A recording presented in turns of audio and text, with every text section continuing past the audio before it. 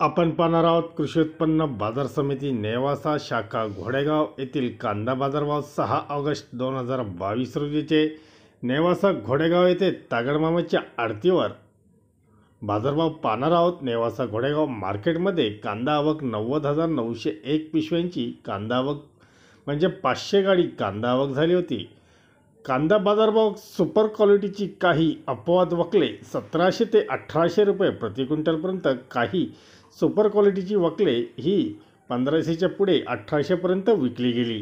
तर नवीन फुल गोळा माल चौदाशे ते पंधराशे रुपये प्रति क्विंटल असा विकला गेला.